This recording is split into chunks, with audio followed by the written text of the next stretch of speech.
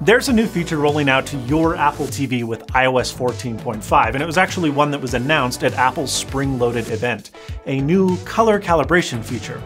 In short, it uses the front of your iPhone's sensors, and you'll hold your phone up to your TV. The Apple TV will flash red, green, blue, and then a number of gradient shades, and voila, it'll take that data and formulate a new color profile to more accurately display films and TV shows as they were intended to be viewed on your TV. Allegedly. In theory, this sounds like a really cool idea, but is it too good to be true? Well, we are going to be putting that to the test by pitting this new feature against two other common calibration methods. A consumer calibration Blu-ray disc from Disney that depends on your human eyes for accuracy, and a Hollywood standard, very expensive piece of software called Calman that uses very expensive pieces of hardware called colorimeters to ensure absolute accuracy. But I guess we first have to answer the question, and it's one that on the surface might seem a little bit silly, but it's actually really complex. What is color anyways? How and why humans interpret color has always been explained differently by scientists, ontologists, and philosophers for thousands of years. But for these purposes, for my video, I will oversimplify in this manner. Color is how special cells located inside of our retinas perceive the visible spectrum, which is basically what we call the wavelength and intensity of specific electromagnetic radiation that human eyes can see. Us humans, well, we have three types of specialized retinal cells for conveying color information, and they're known as receptors, which, in essence, convey all of the colors that our human eyes are capable of seeing. This, the, the, the fullness of color perception, is known as the spectral locus and it's accurately mapped in 3D space because it takes into account luminance or, or, brightness as well, with the bottom of the spectrum being pure black and the top of the spectrum being pure white. But working with color in 3D, well, it's just, it's not very convenient. So a more popular method, and one that you actually may be familiar with, is the chromaticity diagram. It basically just takes the locus and flattens it. This chart is a representation of every color that the human eye can see. All of the colors along the border of this shape, well, they are completely unique. They're different from each other. However, any point inside the border is the result of taking two colors along the chart's perimeter and mixing them together. Even crazier, as long as the perimeter points have a straight line drawn in between them, they'll make the same intersect color no matter where they are on the chart's exterior, so long as they pass through an equal energy white, which is kind of mind-blowing when you think about it. Remember earlier how I said that our eyes contain three specialized types of photoreceptors? Well, one of those three receptors is most sensitive to red, the other to green, and the last to blue. RGB, which may ring a bell because if you zoom up really close to just about any display, you'll see that each pixel is made up of three subpixels, one red, one green, and one blue. This is called a gamut, and using these three colors allows displays to cover the largest possible area of the chromaticity diagram. Now, there are technically colors that our eyes can see that can't be produced by a pure R, G, and B light mixture, but they're very rare. These three pixels can mix together just about any color as long as your eyes are far enough away from the subpixels for the light to blend. You see, here's the problem. It's basically impossible, at least currently, for our technology to produce screens that generate spectrally perfect reference coordinates of red, green, and blue. So the gamut of your TV screen, or the screen that you're watching this video on, is actually much smaller than a triangle matching our human vision. And displays are not even made equal amongst themselves. Manufacturing variants, luminance differences, etc. They make every display different. So to ensure that there is at least some uniformity from one screen to another, standard color spaces have been established that tell displays how colors are supposed to be interpreted from a file or video source, and it builds them around a specific white point. For example, this video and most other content you find online and on TV is in the Rec 709 color space. As you can see, there are a lot of colors the human eye can see that this color space just doesn't account for. The newer Rec 2020 standard, and that's the one that's often used in HDR formats, has a much broader color space. Still not on par with our two peepers, but closer. One last thing. You may be wondering, uh, this chart doesn't have every color I can think of. Like, where, where's dark green? Aha! This diagram ignores luminosity, which we more commonly refer to, and somewhat incorrectly, but I'm not going to get into that, as brightness. Remember that 3D locus? Well, color spaces, like Rec 709, the video you're watching right now, also have a z-axis, and that's for saturation, which creates a, kind of a wedge shape. Think of pure black as 0%, and pure white as 100%.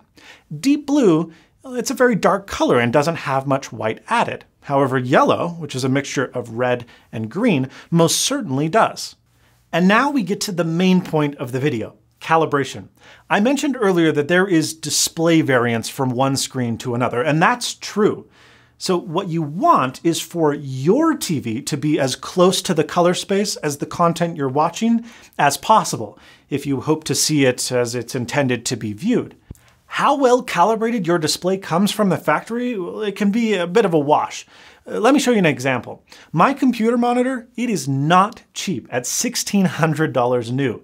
And it actually came with a piece of paper, that I've since lost, that shows the results of a hand calibration performed by LG in their factory for this specific screen when it was made.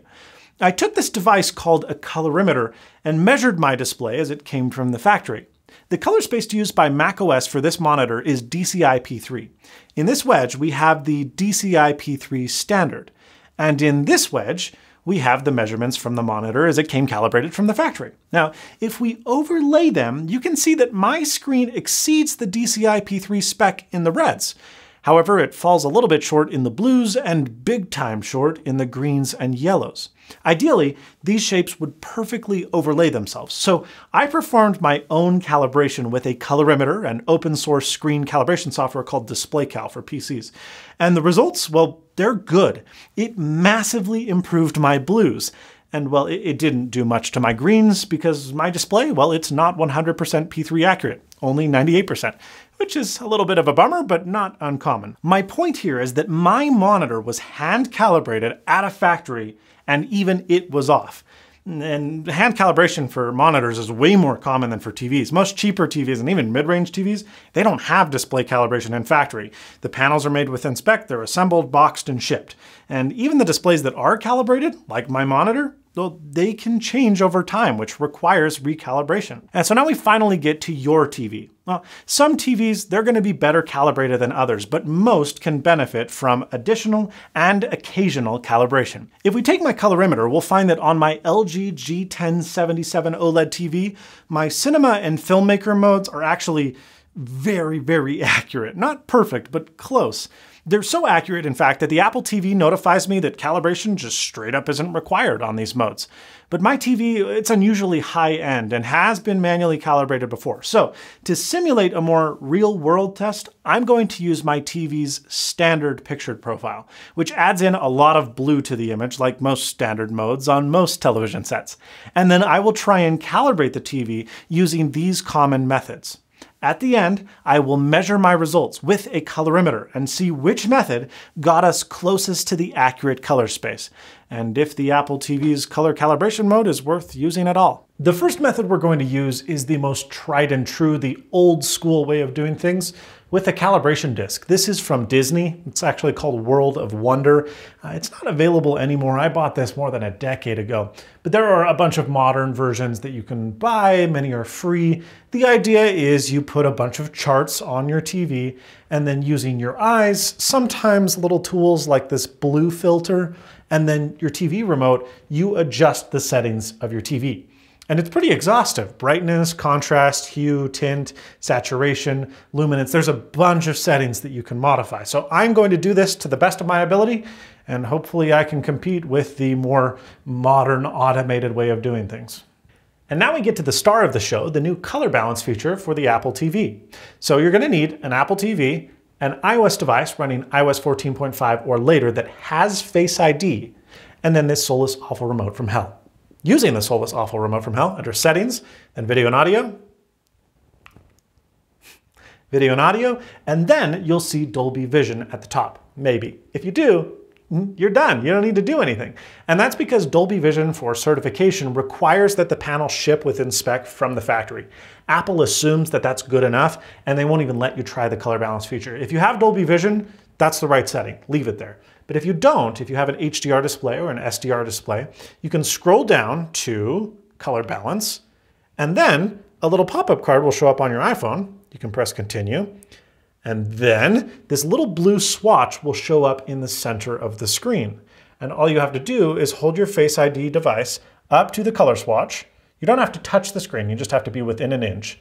And then it will run through this red, blue, green, Oh, red, green, blue, and then a number of gray swatches. And once that completes, we're notified that the color balance is complete and we can view our results. And in our case, they're pretty stark. It goes from this very blue washed out sand to a much more natural looking overall picture. Great. The question is, how does it stand up to actually pro calibrating your display? Let's find out. And now we get to the big boy, professional calibration. I'm using a piece of software called Calman. Now I'm using the home consumer version specifically for this model of TV, which is only $150, but if you pay for the professional version, it's over $2,000. Then you need a high quality colorimeter. These are anywhere from a few hundred dollars to, again, a couple thousand dollars. And then if you wanna be really fancy, you need to buy a pattern generator. Those cost about $2,000. I'm not using one of those because my TV actually can generate patterns built in, and it's specifically designed to work with the software, which is kind of cool. But it, basically what it's gonna do is do a pre-calibration it flashes a bunch of swatches on screen, and then once it's done that, it's going to correct for the grayscale point on the television with its maximum and minimum luminance, and then it's going to actually do the color calibration. So it's taking into account a bunch of different factors, and it uploads these results directly to the TV. I don't have to make any settings changes because it's all done over the network, which is very cool. So let's start by pressing this button and it's gonna start flashing swatches. And then in about, and I'm not kidding you, two hours, we'll have a fully calibrated display. The results are actually surprising with some caveats. Now these charts, they may look overwhelming, but I'm gonna break them down for you because they're really not. Let's start off on the left with RGB balance or white balance. This measures how accurately your TV can display various levels of gray, from pure black to pure white. Now, ideally, they should all have the same color balance, but lots of TVs have the tendency to, say, have warmer highlights. This is, well, this is an exaggeration, but a bunch of pink here could cause the brighter parts of an image to have an unbalanced red tone relative to the rest of the scene. In all of the base calibrations, RTV was consistently poor, but we expected this because the standard color profile had an extremely heavy blue bias. Now, with that said, a poor white balance calibration isn't going to massively impact your viewing experience, so even with my crappy hand calibration fail, the display, though noticeably worse than the other profiles, wasn't horrible at all, and without A-B testing, I probably wouldn't have noticed. Color, however, is where differences can be identified with much more ease. Inside these boxes are the reference colors, or hues, that should be displayed by the TV. And these dots represent what hue was actually displayed by the TV as measured by the colorimeter. Now ideally, you'd have a perfect measurement, with the dot being inside the box. But as you can see in our baseline results, reds and greens are kind of all over the place. They're much cooler than they should be, and our blues are very exaggerated, something that we already knew from the prior test. Now, on the left, you see a delta E value. The delta E value is a numeric representation of how different the measured hue, the dot, is from the target hue, the box. The larger the number, the greater the error or distance from the ideal color. Now, one important side note, the delta E value has a reporting issue in that it doesn't actually report color accuracy, it just reports how far away you are from the target measurement. So, for example, a dot here and a dot here, they're both equidistant from the box and thus have the same delta E value. However, I would likely much prefer this value because it has a deeper blue bias rather than getting purple like the other point. Okay, With that out of the way, the Disney World of Wonder calibration, well, I failed, guys. It was the loser, with the average delta value of 8.4. Now, in second place, the Apple TV does a really great job bringing the average delta E value to just 2.5, with a maximum error of just 6.4. And yes, that leaves us with the winner, professional calibration. Are you really surprised? With an average and incredible delta E value of just 1.9, with a maximum error of 3.5. But let's digest what these results actually mean, okay? Number one, yes, the Apple TV color calibration makes a difference. And yes, in my instance, it did prove a measurably better color output on my television. Number two, the results in my example, they were certainly noticeable by eye, and personally, I found that the calibrated colors were significantly more pleasing. However, I also color calibrated the crappiest default color profile on my TV. If you typically watch your TV in cinema, filmmaker, movie mode, etc., which you should, you'll likely find yourself where I did, with the Apple TV simply displaying a notification that your display looks good enough and that no calibration is required. However, with my professional calibration instrument, even the profile that the Apple TV said was perfect was able to be calibrated further. However, at that point, the visual differences were so slim that really only in certain scenes could I actually discern a difference. So I can't really fault the Apple TV for that. Number three, what I can fault the Apple TV for, however, is its method of calibration, which, while cool, I believe to be less than ideal. You see, all the Apple TV does is change the colors that the box itself outputs over HDMI to your TV. It doesn't fix your TV. And this results, obviously, in potential issues, beyond the Apple TV being the only color calibrated HDMI device in your entertainment console. Let's go back to my Apple TV results. The value with the greatest error is white. And that's not good because if you look on the chromaticity chart, it is still way too blue. Whereas on the professional calibration, it's basically perfect. You need a good white point, and the reason it's not on the Apple TV is because, well, the hue settings on the TV are just really jacked up. They're really freaking blue. and you can only do so much with the input signal coming from the Apple TV. So that gets us to number four, my final point, and it's this. Calibrating your actual display that is going to give you much better results. And look, I don't want to make this entire video seem like a waste of time, but color, color is important. And standards exist for a reason, but our eyes, they are really good at kind of resetting our internal white balance. And even on the crappiest color profile that my TV offers, after the initial recoil of me going, ew, that looks awful, 30 minutes after watching a show or playing a game and it just looks normal. There are a bevy of other settings that have a far greater visual difference and impact on your overall viewing experience, like excessive brightness, which washes out colors, horrid motion smoothing that makes movies look jittery and unsettling, dynamic contrast enhancement, which often does the opposite of enhancing and crushes your shadows and your highlights, introducing yucky banding issues as well with color and edge enhancement, or excessive sharpness, which results in edge artifacting like a mid 2000s video game, etc. The list of half baked features that television manufacturers put in your TV that ruins the image quality are far more numerous and culpable than any color profile on your TV is likely to be. So, here is my advice to you stick to the movie, cinema, or filmmaker profiles that your TV shipped with. And then maybe consider visiting websites like ratings and 4K.com to get suggested picture settings based on their color calibrations that they've done for your specific TV model and see where you end up. If you then run an Apple TV calibration and find yourself liking the changes, great. But you're likely to find that the Apple TV just says, hey, you don't need to calibrate your television. And that's ultimately what you want anyway. So it's cool, but Thank you so much for watching. If you enjoyed this video, please give it a like. If you didn't, well, send this video to someone you don't like. They're gonna hate it. Please leave a comment down below if you've tried this feature and if you noticed a difference. But most importantly, and as always, stay snazzy.